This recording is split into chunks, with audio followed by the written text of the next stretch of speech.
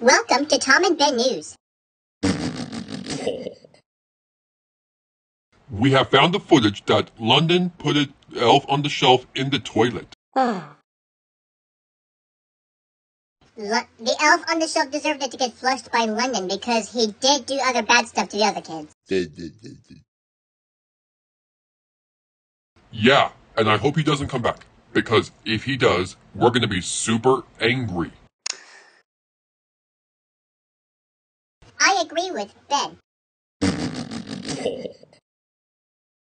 Thank you for watching, and that video was requested by Testing Tim ID.